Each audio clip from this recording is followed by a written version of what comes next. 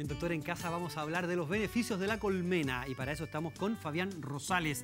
Él es apicultor y apiterapeuta. Gracias por estar hoy día con nosotros, Fabián, en un bloque muy entretenido donde queremos llevar a todos los hogares, las personas que nos están viendo, cuáles son los beneficios de la miel y todos los productos derivados.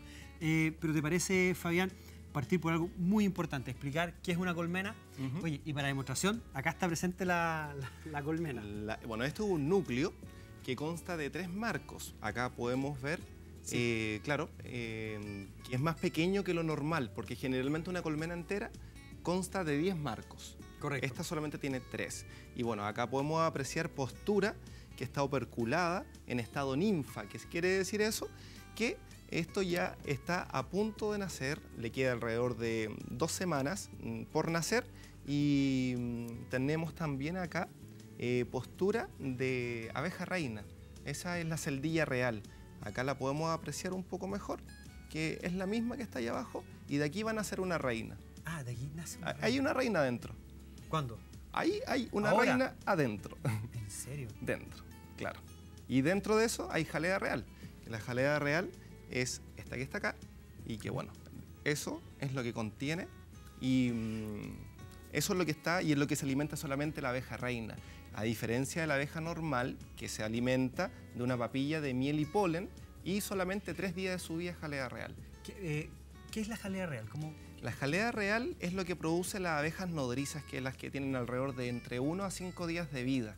Y ellas la producen con las encinas salivales y es netamente el alimento para la abeja reina. Para las obreras y el zángano solamente se le da tres días de su vida, nada más. ¿Tres? Días de su vida se le da jalea real. Y a la reina se le da toda la vida. ¿Permanentemente? Por eso, exactamente, la abeja eh, reina es un huevo igual que cualquier huevo, la diferencia es la alimentación. Eso hace que desarrolle el aparato reproductor la reina y sea mucho más alargada. Por eso el alargamiento de su abdomen, porque los ovarios crecen. Correcto. Claro.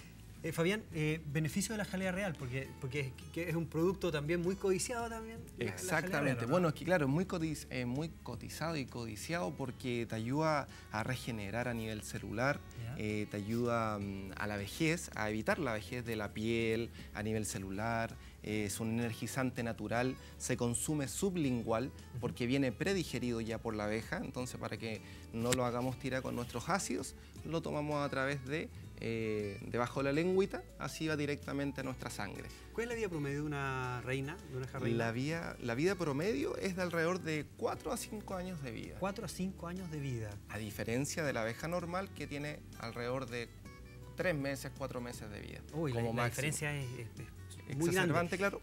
Ahora, ¿qué vemos? ¿Cómo, cómo el funcionamiento de, un panal? ¿Nos podrías explicar esta estructura? Claro, mira, acá lo que podemos ver, por ejemplo, si se dan cuenta, atrás las eh, la cera está mucho más blanca. Cuando la ah, cera está blanca, fondo. claro, la, de atrás se ve más blanca porque es más nueva. Ahora, cuando empieza a poner postura, miel, la cera empieza a adquirir un tono más oscuro. Y aquí podemos verlo ya que está más amarillo. Claro, y entre más oscuro, la ve, eh, está más usado. Fabián, pero uno ve acá distintos tonos de amarillo. Por ejemplo, acá hay unos amarillos que son más pálidos, ¿no es cierto? Todo esto es una zona más pálida. Pero acá, por ejemplo, se ve distinto.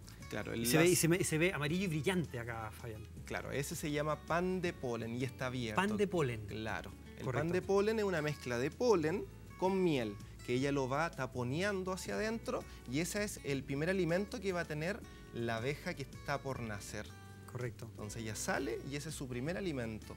Espérate, déjame, déjame ordenar un tema. Polen y miel, y, tú señalaste acá. Mostremos acá, acá que tenemos. Esto es. Ese es el polen, el polen sacado de ellas mismas. Este es el polen que yo lo saqué hoy día en la mañana. Ah, mira qué bueno. Esto es polen. Claro.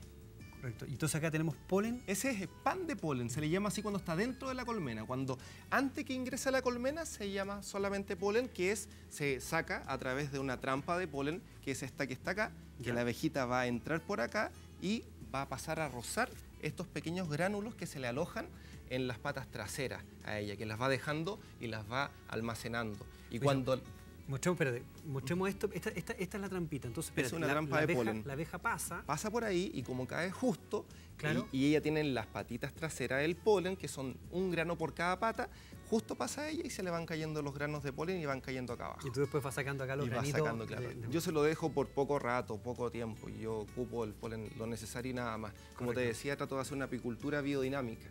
¿Qué es, una, qué es, qué es que sea biodinámica?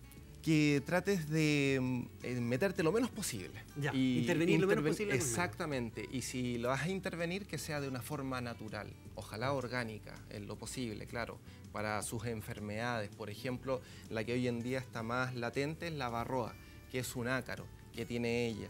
Y claro, eso es eh, más o menos como el porte de una mochila para nosotros. Correcto. Claro.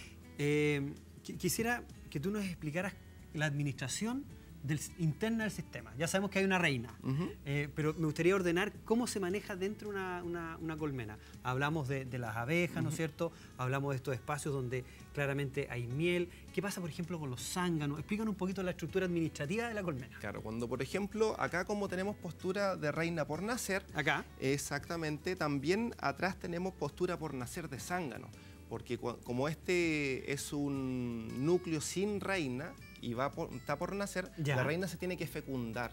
Entonces también ella por naturaleza va a nacer a la reina y también van a poner postura de zángano. De zángano. Exacto, para que después pueda fecundarse con la reina y así poner huevitos la reina. La reina, por ejemplo, pone huevos durante toda su vida una vez que se fecunda, el día.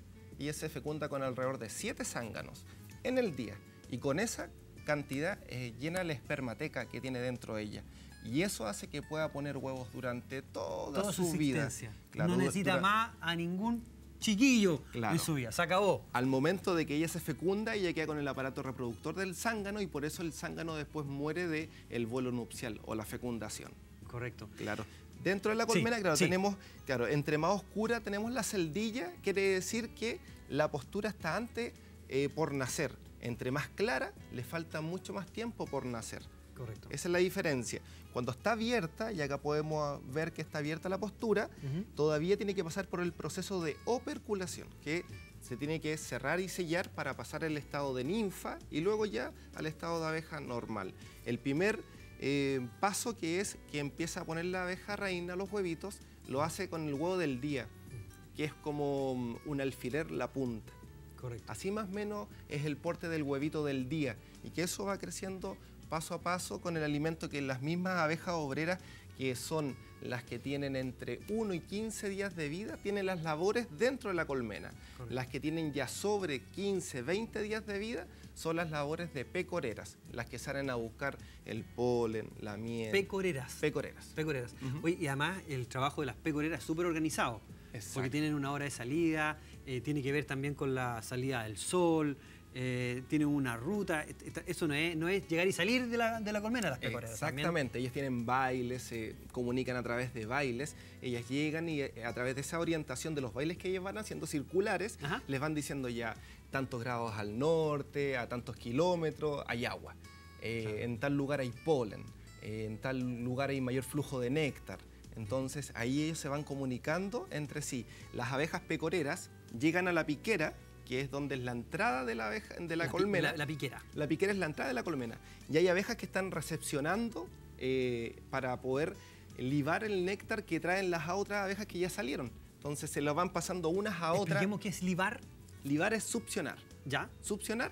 Ella, la abeja pecorera, va a libar el néctar de la flor. Correcto. Ella lo succiona. Claro. Y por ese hecho, el, eh, ella se le pega todas las micropartículas del polen por la estática que produce por el vuelo. Entonces, a la vez que está libando el polen, se le está pegando, o sea, está libando el néctar, están pegándose el polen, en su pelo. Claro. Correcto. Entonces, ella cuando va a la colmena, ella entrega a las abejas más nuevas el néctar que ella tiene.